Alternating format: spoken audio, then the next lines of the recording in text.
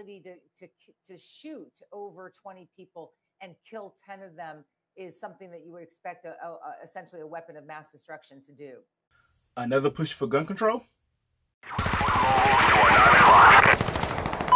this is Grizzly 2. Interrogative. Are uh, we clear to use our thermal laws? Okay, guys. Okay, so first and foremost, hey, if you're new to the channel, hey, go ahead and hit that subscribe button if you are interested in getting gun news on a daily basis.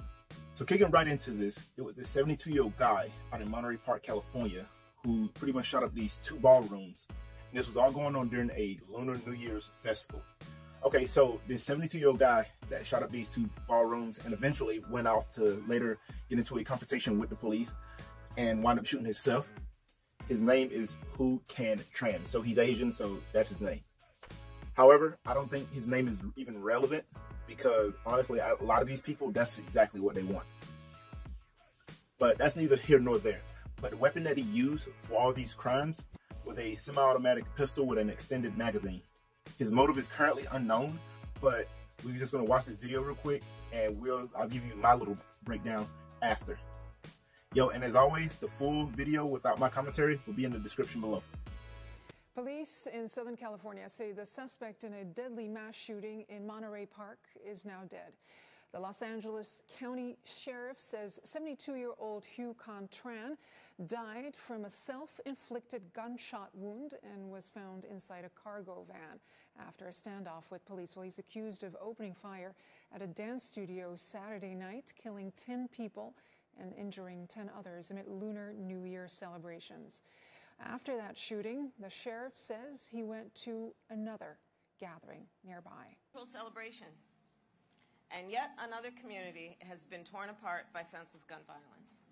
And uh, we understand that the murder weapon uh, has been described as some Yeah. sort of assault pistol.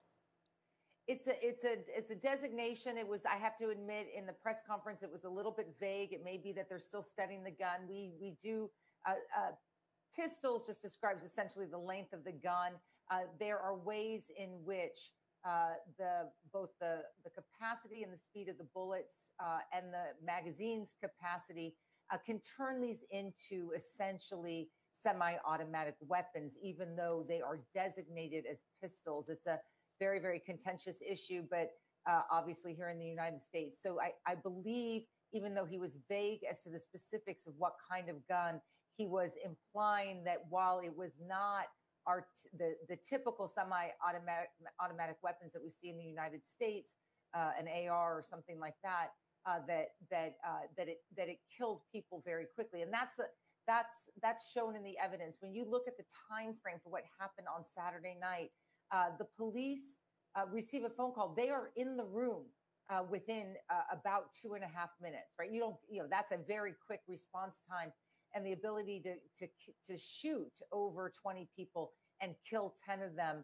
is something that you would expect a, a, a essentially a weapon of mass destruction to do. Okay, so you seen that, you heard that. So clearly this was an evil guy. He had evil intentions from the start. Now, if these places was no gun zones or not, I do not know. I tried to look it up, couldn't find it. However, I'm willing to bet that these people did not carry guns into this place. This shooter known this information and he used this to his advantage. And instead of just calling it for what it was, you have the media out here pushing this as a gun control issue.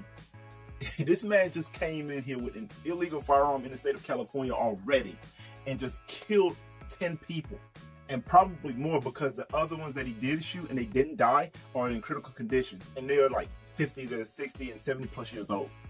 But instead, we got the media out here making up terms, now calling this pistol that he used an assault pistol. To go as far as one CNN news anchor calling this weapon a weapon of mass destruction. You would expect a, a, essentially a weapon of mass destruction to do. Moving forward, we need to understand that everything is not going to be cupcakes and rainbows. There are people in this world that are going to commit evil regardless of what law or statute that you place on them. So when able to deal with that check, if you're going to have a no gun zone or establishment that you know guns aren't going to be real dense in that area, it needs to be some type of armed security to help protect the people when a threat comes and shows itself. The media is already trying to portray this shooting as a assault pistol incident. They are already trying to do away with rifles, and already that you see it right here firsthand, they're trying to go for pistols next. It is a scary number of people that the mainstream media have brainwashed into thinking these incidences is the gun's fault. We need to know and understand that we are responsible for our own lives. Because when law enforcement shows up, they are only there to deal with whatever aftermath that the shooter have already caused.